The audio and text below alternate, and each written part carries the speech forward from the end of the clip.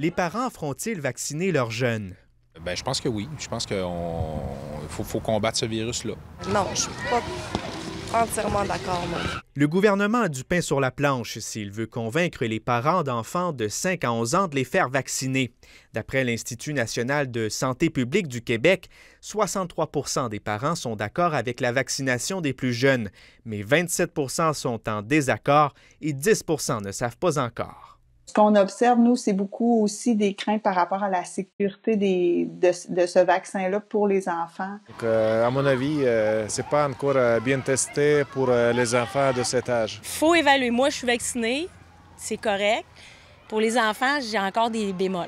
La santé publique de la capitale nationale compte sensibiliser les parents c'est pas une dose d'adulte qu'on donne à des jeunes, mais c'est une dose qui est faite pour les jeunes et qui va être sécuritaire. Il y a actuellement 30 éclosions sur le territoire de la région de Québec. La moitié est dans les écoles primaires sont quand même capables de transmettre euh, le virus et que donc euh, cette vaccination-là, même si pour eux, il n'y a pas d'avantage euh, clair, c'est-à-dire que c'est pas comme si on allait éviter des hospitalisations, ça va quand même permettre un certain retour à la vie normale. Après les élèves du secondaire, le CIUS de la capitale nationale se prépare aussi à la vaccination des plus jeunes, un processus plus calme et apaisant que pour les ados au mois de juin.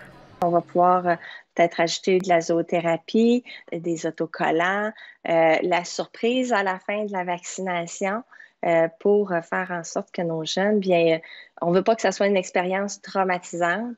Les ententes d'approvisionnement du fédéral sont déjà signées, même si Santé Canada n'a pas encore approuvé le vaccin de Pfizer pour les enfants. Ils vont prendre le temps nécessaire pour s'assurer qu'il soit sécuritaire et efficace. Dans la région de Québec, 57 000 enfants sont âgés de 5 à 11 ans. La province espère que la vaccination sera complétée avant Noël. Ici Pierre-Alexandre Bolduc, Radio-Canada, Québec.